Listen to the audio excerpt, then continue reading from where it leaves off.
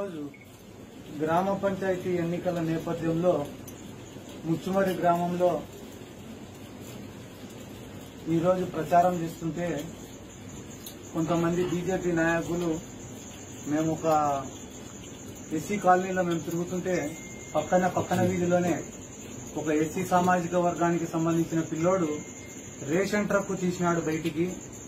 ఎన్నికల కోడ్ అమల్లో ఉన్నప్పుడు రేషన్ ట్రక్ ఏ రకంగా బయటికి తీస్తారని చెప్పి బీజేపీ నాయకులు మా గ్రామానికి సంబంధించిన వాళ్ళు కొంతమంది నందికొట్కూరు టౌన్కు సంబంధించిన వాళ్ళు కొంతమంది కర్నూలుకు సంబంధించిన కొంతమంది మహిళలు కూడా ఒక దళితుడి పైన దాడి చేయడం ఆ రేషన్ ట్రక్కును ఆపడం డ్రైవర్ని బయటికి లాగి కొట్టడం ఎందుకు అడ్డం పడినారమ్మా నాకు నా వెహికల్కి అని అడిగిన పాపానికి ఆ పిల్లోని కొట్టడం వ్యాన్లో నుండి బయటికి లాగడం బయటికి లాగడమే కాకుండా మాకే ఎదురు మాట్లాడతావారా? మా కాళ్ళు మొక్కాలా? మాకు క్షమాపణ చెప్పాలా? అని బీజేపీ నాయకులు అనడం మీకు క్లియర్గా వీడియోస్లో కూడా కనబడుతుంది ఇప్పుడు. ఆ వీడియోస్ చూస్తే మీకే అర్థమవుతుంది. ఎందుకు వాళ్ళు ఆ లెవెల్లో ఉన్నారంటే మా ముచ్చుమరి గ్రామం. దాదాపుగా ఈ గ్రామ చరిత్రలో ఎప్పుడు కూడా ఎన్నికలు జరగాల ఇక్కడ గ్రామ పంచాయతీ ఎన్నికలు. ఎప్పుడు కూడా ఏకగ్రీవం కిందనే పోయినాయి. ఎవరిని పెట్టుకున్నారా అభ్యర్థుల కింద? అంటే వాళ్ళ ఇంట్లో పనిచేసే గాసగాళ్ళను వాళ్ళ కింద పనిచేసే వాళ్ళను పెట్టుకున్నారు తప్ప స్వేచ్ఛగా ప్రజలు వచ్చి ఎన్నికలలో పాల్గొని ఓటు వేసే పరిస్థితి ఎప్పుడు కూడా ఈ ముచ్చుమారి గ్రామంలో లేదు. మొట్టమొదటిసారి వైఎస్ఆర్ కాంగ్రెస్ పార్టీ అధికారంలోకి వచ్చిన తర్వాత ఈ గ్రామంలోని ప్రజలందరూ కూడా స్వేచ్ఛగా ఉన్నారు ఈరోజు. సంక్షేమ పథకాలు అందుతున్నాయి అభివృద్ధి కార్యక్రమాలు జరుగుతున్నాయి. సాఫీగా బతుకుతున్న తరుణంలో కూడా ప్రతిరోజు ఏదో ఒక ఘర్షణ లేపాలా లిగాళ్ళు పెట్టాలా ఉన్న గ్రూప్ చేయి జారిపోకుండా ఉండాలంటే కొట్లాటలు పెడితే ఒక గ్రూప్ అనేది వాళ్ళ దగ్గరే ఉండిపోతుందనే ఉద్దేశంతో రకరకాల గొడవలు పెడుతున్నారు గ్రామంలో. ఒకవేళ పోలీసులు వాళ్ళు చేసే దాడులను ఖండిస్తే పోలీసుల పైన కూడా హ్యూమన్ రైట్స్ పోవడం వాళ్ళపైన పిటిషన్లు వేయడం వ్యవస్థలను వాడుకొని పోలీసుల్ని కూడా బయపించుకోవాలని చూడడం ప్రస్తుతం బీజేపీ వాళ్ళు చేస్తున్నటువంటి రాజకీయం. మా గ్రామ బీజేపీ అంటే బాగుంటది. ఎందుకంటే వాళ్ళు బీజేపీలో కూడా ఎక్కువ రోజులు ఉండరు. తెలుగుదేశం పార్టీ అధికారంలోకి వస్తుందంటే తెలుగుదేశంలో పోతారు. కాంగ్రెస్ పార్టీ కేంద్రంలో వస్తుందేమో అనే ఉద్దేశంతో కాంగ్రెస్ పార్టీలో పోతారు. శత్రువులతోనే చేతులు కలుపుతారు అవసరానికి. ఆ తర్వాత మళ్ళీ ఈ రోజు వైఎస్ఆర్ కాంగ్రెస్ పార్టీ రాష్ట్రంలో అధికారంలోకి వచ్చింది కాబట్టి వాళ్ళ ఆస్తులు వాళ్ళ దౌర్జన్యాలు అన్ని కాపాడుకోవడానికి మళ్ళీ ఈ రోజు బీజేపీ పార్టీలోకి పోయి అమిత్ షా మోడీ కన్నా వీళ్ళే బీజేపీ పైన ఎక్కువ ప్రేమ ఉన్నట్టు ఈ రోజు వాళ్ళు ప్రవర్తించడం.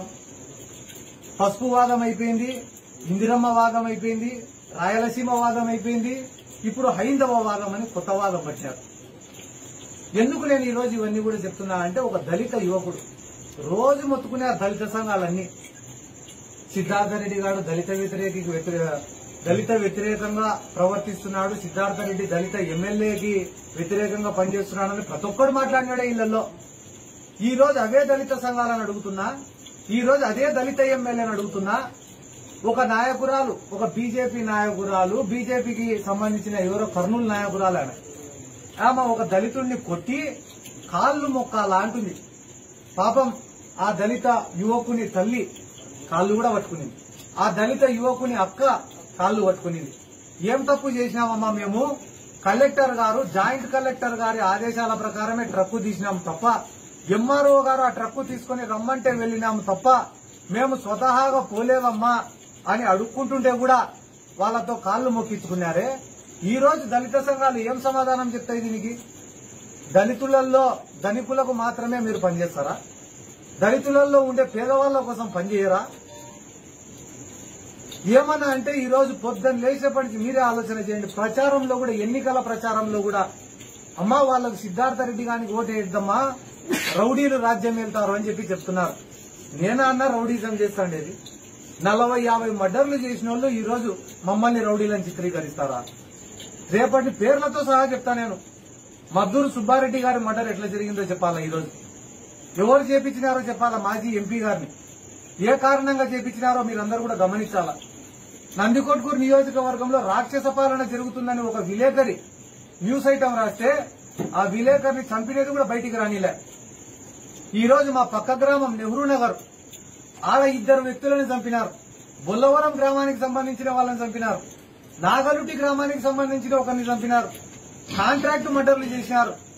కోటాను కోట్ల ఆస్తులు సంపాదించినారు. వేల కోట్ల ఆస్తులు సారాయి వ్యాపారాలు చేసినారు. తేకు వ్యాపారాలు చేసినారు. ఇటువంటి అలిగేషన్స్ అన్ని ఉన్నటువంటి వ్యక్తులు ఈ రోజు సొంత గ్రామం ముచ్చుబరిలోనే ఓడిపోతే వాళ్ళ ఉనికి ఎక్కడ కోల్పోతామో రాజకీయంగా భవిష్యత్తు ఉండదేమో అనే ఉద్దేశంతో ఈ రోజు వరకు గొడవలే లేవు మా ఊర్లో. ప్రశాంతంగా ఎవరిపాటికి వాళ్ళు క్యాన్వాస్ చేసుకుంటున్నారు. ఎందుకు ఘర్షణ జరిగింది ఈరోజు మీరందరూ కూడా గమనించాలా? ఈరోజు పొద్దున్నే కూడా మధు అనే పిల్లోడిని ఎత్తుకపోయి స్టేషన్లో కూర్చోబెట్టినారు. దేనికి? బుజ్జి అనే ఒక ఒక అతని పైన దాడి చేశాడనే ఉద్దేశంతో. ఆ బుజ్జి అనే అతను పొద్దున్నే ఏడు గంటలకే తన స్నేహితుల స్నేహితులతో కూర్చొని తాగి తొమ్మిది గంటలకు నాకే కాల్ చేసినాడు. ఎక్కడున్నావు ఏం చేస్తానో ఏం నాతో మాట్లాడాలని తెలీదా? ఏమనుకుంటారో నీ గురించి అనే లెవెల్లో నాతో ఫోన్లో మాట్లాడినాడు. ఇది నేనేమి ట్యాంపర్ చేసేది కాదన్నా నా కాల్ డేటా తీసినా మీకు బయట పడుతుంది. వాయిస్ కాల్ తీసినా బయట పడుతుంది అవన్నీ కూడా. రికార్డెడ్ ఎవిడెన్స్లు అవన్నీ. మళ్ళీ మేము క్యాన్వాస్ కాన్వాస్కు పోతుంటే దారిలో కూర్చొని ఏం నాకు కాల్ చేసినావని అడిగితే పో పో అన్నాడు. ఇట్లానే పో పో ఇంకా పో అన్నాడు. అది చూసి తట్టుకోలేని మధు అనే వ్యక్తి దాన్ని ఖండించే విషయంలో దాడి జరిగితే అది కూడా మాదే తప్ప మేము ప్రేరేపిస్తున్నామా? వాళ్ళు ప్రేరేపిస్తున్నారా ఘర్షణలు? ఈ రోజు ముచ్చుమరి గ్రామం మొత్తం చైతన్యవంతులై ఒక తాటిపైకి వచ్చి ఇప్పటికైనా ముచ్చుమరిలో ఘర్షణలు లేకుండా ప్రశాంతంగా బతకాలనే ఉద్దేశంతో ప్రజలందరూ కూడా మా అభ్యర్థికి ఒక మంచి అభ్యర్థికి మా ఆంజనేయులు గారికి ఓటేయాలని డిసైడ్ అయిన తరుణంలో మరొక్కసారి ముచ్చుమరి ప్రజలను భయభ్రాంతులకు గురి చేసి ఓట్లు సంపాదించుకోవాలని అనుకుంటున్నారు. సేవ చేస్తారంటే వీళ్ళు రాజకీయాలలోకి వచ్చి. వాళ్ళ కారణంగా నష్టపోయిన కుటుంబాలు ఎన్నుండయి. వాళ్ళ కారణంగా జైలు జీవితాలు అనుభవించిన కుటుంబాలు ఎన్నుండయి. వాళ్ళ కారణంగా ఈ రోజు రాజకీయంగా నష్టపోయిన కుటుంబాలు ఎన్నుండయి. వాటికి సమాధానం చెప్పారు వాళ్ళు ఏమైనా నష్టపోయినారా? వాళ్ళ కాడ ఎన్ని వేల కోట్ల ఆస్తులుండే ఏం వాళ్ళు ఏమన్నా వ్యాపారాలు చేసినారా? ఊటీలలో హోటల్ ఎట్టొచ్చినాయి? హైదరాబాద్లో ఫైవ్ స్టార్ హోటల్ ఎట్టొచ్చినాయి? టీ ఎస్టేట్లు కాఫీ ఎస్టేట్లు ఎట్టొచ్చినాయి? వందల వేల ఎకరాలు ఎట్లా కొన్నారు? కుశనాపురం కాడ నలభై ఎకరాలు ఎట్లా కొన్నారు? కాంప్లెక్సులు లాడ్జులు నెలబాడుగులే ఐదు నుంచి పది కోట్లు ఏ రకంగా సంపాదిస్తున్నారు? కేవలం ఇన్ని వేల కోట్ల ఆస్తులున్నాయి మన కాడ. కేవలం ఒక పిల్లోడి చేతిలో ఓడిపోతామనే భయంతో వాళ్ళ చెప్పు చేతుల్లో పనిచేసిన వ్యక్తులు ఈ రోజు వాళ్ళకు ముచ్చుమరి గ్రామం అంటే వాళ్ళ గుప్పెట్లో ఉండే ఒక గ్రామం. ముచ్చుమరి గ్రామ ప్రజలంటే వాళ్ళ బానిసలు. ఎన్ని రోజులైనా వాళ్ళకు పని చేయాలి తప్ప వాళ్ళు స్వేచ్ఛగా బతకకూడదు అనేది వాళ్ళ సిద్ధాంతం. అటువంటి గ్రామంలో మొట్టమొదటిసారి జగనన్న పాలనలో స్వేచ్ఛగా ప్రజలు ఓట ఓటింగ్ జరిపి ఒక నిర్ణయం తీసుకుంటున్న తరుణంలో ఈ రోజు డబ్బులు ఓటుకు ఐదు వేలు పదివేలు పంచుతామంటున్నారు. ఈ రోజు మా ముచ్చుమరలో జరుగుతున్నది ప్రలోభాలు అవన్నీ కూడా లొంగడం లేదు ప్రజలు. ప్రలోభాలకు కూడా లొంగే పరిస్థితి లేదు. కాబట్టి చివరి ఆయుధంగా దాడులు చేయాలి. మీరే ఆలోచన చేయండి. మేము ఎక్కడ కూడా చట్టాన్ని ఉల్లంఘించి పోయినది లేదు. ఎందుకంటే ఈ రోజు కూడా మీరు గాన అబ్జెక్షన్ తెలపాలనుకుంటే ఆ ట్రక్కును ఆపాలనుకుంటే ఎవరికి చెప్పారు చెప్పాలా. కలెక్టర్ కన్నా చెప్పాలా? పోలీసుల కన్నా ఇన్ఫర్మేషన్ ఇవ్వాలా వీళ్ళెవరు ఆపడానికి? వీళ్ళెవరు కొట్టడానికి? వీళ్ళెవరు దాడి చేయడానికి? పొద్దున్నే ఒకడు ఫోన్ చేశాడంటే వాడు అన్కాన్షియస్ స్టేజ్లో ఉన్నాడు. మాట కూడా సరిగ్గా మాట్లాడలేనంత తాగినాడు. అటువంటి వ్యక్తిని కాపాడడం కోసం బీజేపీ నాయకురాలు డైరెక్ట్ పోయి స్టేషన్లో కూర్చుంది ఒక తాగుబోతును కాపాడడం కోసం. అంటే ఏ లెవెల్లో ఎంత దిగజారి రాజకీయాలు చేస్తున్నారో కూడా మీరు అందరూ ఆలోచించుకోవాల్సిన అవసరం ఉంది ఈరోజు. ఇప్పటికైనా కూడా అందరికీ చెప్తున్నా నేను మీడియా సాక్షిగా చెప్తున్నా ఇటువంటి ఫ్యాక్షన్ రాజకీయాలను ప్రోత్సహించే వాళ్ళపైన కఠినంగా చర్యలు తీసుకోమని చెప్పి ప్రభుత్వాన్ని పోలీసు వారిని కూడా కోరుతున్నా.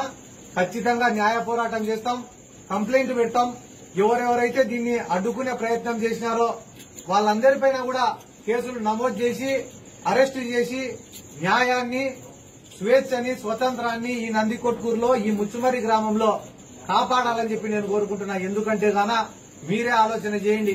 ఈ ముచ్చుమరి గ్రామం అంటే పది మంది కావలిగాలను పెట్టడము పంచాయతీలలోకి రాకరావడము భార్య పిల్లల ముందరే అమాయకులను కొట్టడం అనేది ఇన్ని రోజులు జరిగింది. కానీ వైఎస్ఆర్ కాంగ్రెస్ పార్టీ ప్రభుత్వం వచ్చిన తర్వాత ప్రతి ఒక్కరికి ఏదైనా సమస్య వస్తే స్వేచ్ఛగా స్టేషన్ పోయి కంప్లైంట్లు పెట్టే పరిస్థితి ఉంది ఈరోజు. రోజు మన దగ్గరికి రాదు రద్దురా కంప్లైంట్ పెట్టే పరిస్థితి వస్తే కానీ ఇంకా మన దగ్గరకు వచ్చి పంచాయతీలలో కూర్చునేది ఎవడురా?